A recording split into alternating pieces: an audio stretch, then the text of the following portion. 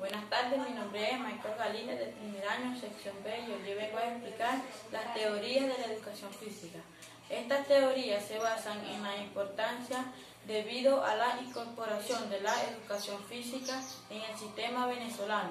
Por un lado tenemos a Simón, a Simón Rodríguez que dijo, los hombres deben prepararse para el goce de la ciudadanía con cuatro especies de conocimiento por consciente. Por lo tanto, Simón Bolívar dijo, los juegos y recreaciones son tan necesarios para los niños como su alimento, su estado de emoción, eh, su estado, su estado de, su estado físico y moral, si así lo requiere.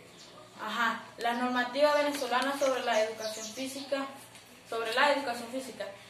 En el decreto de, de 22 de noviembre de 1800 de 1894 aparecen algunos aspectos de interés para la educación física.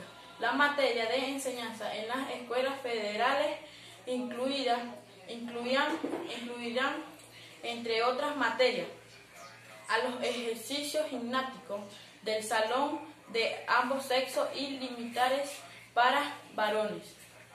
Ley de la educación ratifica la obligatoriedad de la educación física en todos los planteles. Este año el gobierno de don Rómulo Gallegos, de don Rómulo Gallegos, de, don Rómulo Gallegos, a través del Ministerio de Educación, a cargo del doctor Luis Beltrán Prieto, Prieto Figueroa, de la apertura de, da la apertura, da la apertura de la especialidad de educación física en el Ministerio Instituto Pedagógico de Caracas. Muchas gracias por su atención.